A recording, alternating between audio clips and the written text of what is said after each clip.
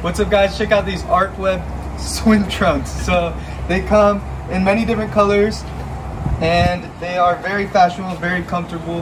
They have a stretchy waistband so they fit anybody. They have a drawstring so you can tie it up, make it tighter. They have pockets with a zipper so you can close them up, which is very nice. And then on the inside, they actually have these Under Armour things that also have a pocket on the inside. So go ahead, check it out.